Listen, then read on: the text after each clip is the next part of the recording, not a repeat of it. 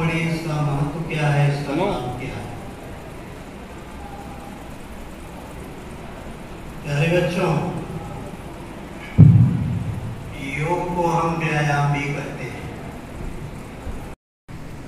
हम उन्हें एक्टिव करते हैं। किसी कारणवश यदि हमारा कोई अंग ठीक से काम नहीं कर रहा है तो ये विभिन्न विभिन्न प्रकारों में मुख्य रूप से कर्म योग है। नाद योग, ज्ञान योग, तंत्र योग। ये तमाम जो योग के प्रकार बताए गए हैं।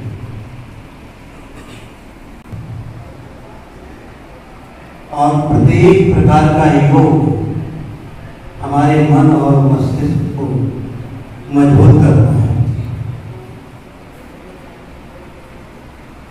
हम सबको योग की पद्धति अपनानी चाहिए यदि अपने जीवन में स्वस्थ रहना है, प्रसन्न रहना है, निरोग रहना है तो हमें योग और क्रीड़ा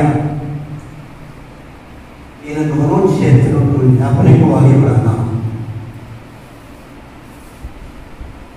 योगा का लाभ क्या है मांसपेशियों में शरीर के जो मसल्स हैं।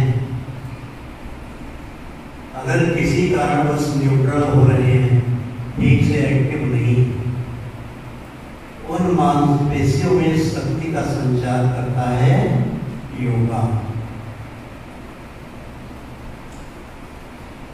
कभी कभी ऐसा होता है, बच्चे लापरवाही बस जो पूर्णतः दुख से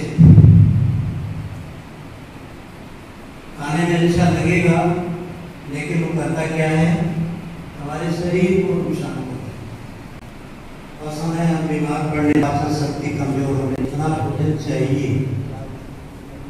यदि दूषित खाद्य सामग्री से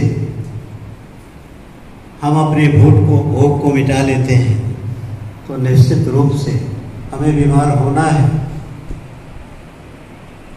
हमें ऐसे भोजन, ऐसे आहार को लेना होगा कि जो हमारे शरीर के संतुलन को ठीक रख सके।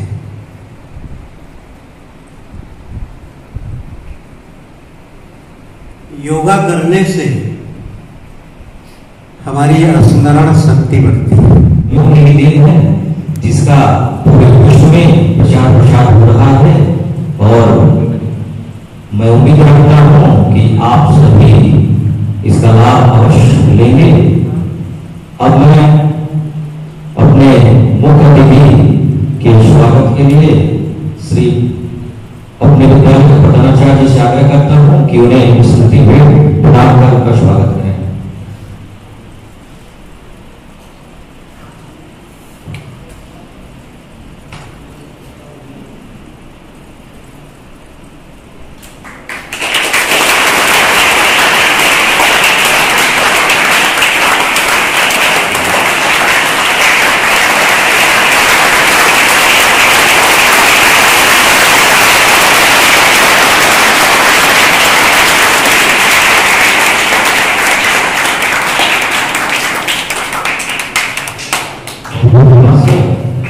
और मैं आपकी पाने को यहाँ हर शख्स बेकरार है, अब आ गई है वह घड़ी जिसे हमें बेसब्री से इंतज़ार है तो समय लेकर अपने विद्यालय के प्रधानाचार्य श्री मनीष सोनी जी को आभार ज्ञापन हेतु मंच पे आमंत्रित करता हूँ।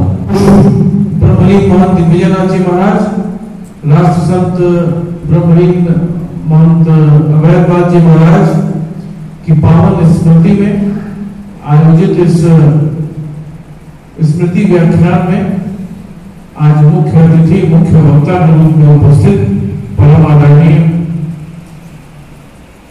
दिग्विजयनाथ इंटर कॉलेज चौक माफ़ी के प्रधानाचार्य केशव प्रसाद तिवारी जी उपस्थित। सभी शास्त्रीय शिक्षकगण और छात्र छात्राओं ये स्मृति व्याख्यान प्रत्येक वर्ष प्रत्येक वर्ष ये स्मृति व्याख्यान जो महाराणा प्रताप शिक्षा परिषद है, उसके जो संस्थापक रहे हैं, जो आचार्य रहे हैं, जो महत्वगण रहे हैं, उनकी पावन स्मृति में ये प्रत्येक वर्ष स्मृति व्याख्यान आयोजित किए जाते हैं। इस वर्ष जब स्मृति व्याख्यान की चर्चा हुई तो हम लोगों ने सोचा कि एक ऐसा विषय रखेंगे, जो आज बच्चों की ज़रूरत का बच्चों की प्रासंगिकता का छात्र जीवन की में उपयोगिता का होगा। और महसूस हुआ कि बच्चे आजकल खेल कूद में पिछड़ रहे हैं। दिनचर्या का एक अच्छी दिनचर्या का अभाव है। आप सब बच्चे जो है लंबे लंबे सब दूरी से स्कूल आते हैं, पूरा दिन स्कूल में रहते हैं, शाम को ट्यूशन जाते हैं पढ़ाई का बहुत दबाव आप सबके ऊपर महसूस हो रहा है।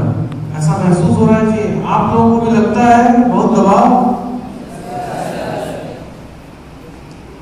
ये स्टडीज़ में भी आया है, बहुत सारी रिसर्च स्टडीज़ हुई हैं, जिसमें बच्चों के ऊपर काफ़ी दबाव, काफ़ी अब बहुत सारे बच्चे कितने बच्चे देखो, ऐसा है कि तुम लोग स्कूल में बदमाशी करते हो, उसको खेलना नहीं कहते। खेलना का मतलब होता है प्रॉपर स्पोर्ट कितने बच्चे हैं जो खेलने के लिए जाते हैं? क्या खेलते हैं? क्या खेलते कितने कबड्डी खेलते हैं? और कितने क्रिकेट खेलते हैं? इसके अलावा, क्रिकेट, कबड्डी के अलावा कोई गेम? फुटबॉल कितने बच्चे खेलते हैं? लड़कियाँ तो कुछ नहीं कर रही। लड़कियाँ यहाँ पीछे हैं। क्या घर में जाकर काम करती है? घर में काम करना पड़ता है ना? इसीलिए नहीं खेल पाती। बाहर नहीं जाने देते हैं, घर में काम करना पड़ता है। तो आप लड़कियों के लिए, अपने आप को स्वस्थ रखने के लिए बहुत अच्छा माध्यम योग का है। सर ने बताया है, स्मरण शक्ति विकसित होती है। जीवन में आपको आगे बढ़ना है। सारे बच्चे खेलने जा रहे हैं, लड़कियाँ कोई हाथ नहीं उठाई। इसका मतलब ये नहीं जाती है। तो लड़कियों के लिए योग। अब आप लड़कियों के लिए योग प्रैक्टिस शुरू कराइए। इनको बेसिक ऑफ़ योगा पता होना चाहिए, सबको। सबको पता होना चाहिए, तभी ये लोग कुछ आगे। स्मरण शक्ति का बहुत महत्व सर ने बताया है। उसमें करिए रेगुलर करिए तभी हो पाएगा अब आप सभी ऐसी में आ गए हैं कि अब आपको अपनी मेहनत करने की क्षमता बढ़ानी पड़ेगी। और ये मेहनत आपकी एक, जैसे बैंक में आप पैसा जमा कर देते हैं, बैंक में पैसा जमा करते हैं, फिर आपको जब ज़रूरत होती है तो उस पैसे को निकाल लेते हैं ना। तो वैसे ही जीवन भी है। जीवन के स्टार्टिंग के 25 साल में जितनी आप मेहनत कर देंगे वो आपका बैंक में क्रेडिट हो जाएगा, जमा हो जाएगा।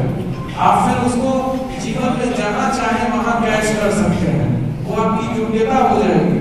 सब लोग कहते हैं योग्यता योग्यता योग्यता। योग्यता क्या है?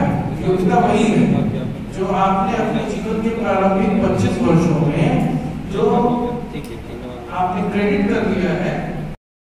और सभी आप विद्यार्थियों को विशेष आभार और धन्यवाद है। तो आज देखिए आप जब पूछते हैं कि कौन सा गेम खेलते हैं तो सभी लोग कहते हैं क्रिकेट खेलते हैं। ऐसे ऐसे गेम है जहाँ पे कैंडिडेट्स है ही नहीं। क्यों? क्योंकि उसके प्रति उनकी रुचि नहीं है। लोग जान ही नहीं पाते हैं। लॉर्ड्स के लिए स्पोर्ट्स का फ़ील्ड बिल्कुल आज भी खाली पड़ा है। कैंडिडेट ही नहीं हो पाते कैंडिडेट मिल ही नहीं पाते हैं। जिम्नास्टिक के कैंडिडेट मिल ही नहीं पाते हैं। तो पर्टिकुलर ऐसे गेम को चॉइस करें। और गेम खेलना मतलब ये नहीं कि आप बस बैट उठाए खेलना शुरू कर दें। दौड़ना है तो दौड़ना शुरू कर दें। उसको अपने लाइफ का गोल मानिए और प्रैक्टिस पढ़ने लिखने के साथ खेल का क्षेत्र भी आज उपलब्धियों से भरा हुआ है। और योग के बारे में बस इतना कहना चाहूँगा कि योग आपके युद्ध शब्द से बना हुआ है जैसा मैंने बताया तो युद्ध का मतलब है जोड़ना। आपके आत्मा को, आपके अंदर आत्मा को किससे जोड़ेंगे? ईश्वर से जोड़ना, परमात्मा से जोड़ना ही योग का तात्पर्य है। योग आपके शारीरिक, मानसिक, चारित्रिक, जितना भी आप उसके वर्ड फॉर्म करते जाइए। हर एक चीज़ में आपके लिए बेनिफिशियल है।